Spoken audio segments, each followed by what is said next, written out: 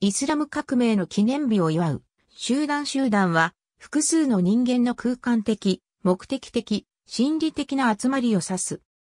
集団は一般的には二人以上の組織のような人間の集まりであるが、厳密には共通の目的を持ち、目的と目標を共有し、目的と目標達成のために互助しようと努力し、役割の分担が集団の中に定め、振る舞い方の一定の基準が存在し、集団自己同意一致すると、社会心理学においては定義されており、その中でも組織関係、コミュニケーション関係、心理関係だけを挙げて人間関係と呼称する。まずその規模により部分集団と全体集団という分類がある。社会において小規模な集団としては家族集団、職場集団、または地域集団などの部分集団があり、これら様々な機能を持つ集団が連結した結果、生じる大規模な集団が国家のような全体集団となる。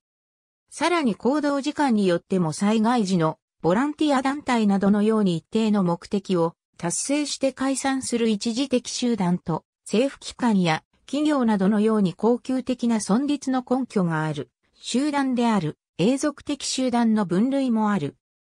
さらに公的集団と私的集団、統制的集団と非統制的集団、利益集団と共同集団という分類がある。集団には個人の気ままな単独行動を規範、約束、慣習などによって抑制し、一定の枠の中にメンバーの行動を同質化しようとする働きがあるため、集団行動や集団態度といった特有の行動、反応を示す。集団行動とは集団によって行われる行動であり、統制行動と非統制行動に対別される。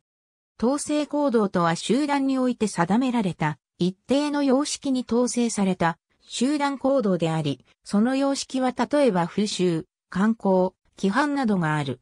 風習は集団が生活する上で必要な日常の約束である。また観光は風習よりもより厳格な制裁を伴う強力な約束を指すものである。規範は集団の共有の利益を達成するために集団行動を統制するための手段であり、これに従う集団行動を同調行動という。また一方で非統制行動は群衆行動とも呼ばれるものであり、何の統制も受けていない集団行動であり、厳密には群衆行動、乱衆行動、心理伝染に分けられる。群衆行動は一定の空間に集合する人間の群れであり、一時的に共通目的のために活動するが、成員は分業で組織化されておらず、永続的な集団意識がないために、目標行動の後には解散する。また、社会秩序を破壊することはない。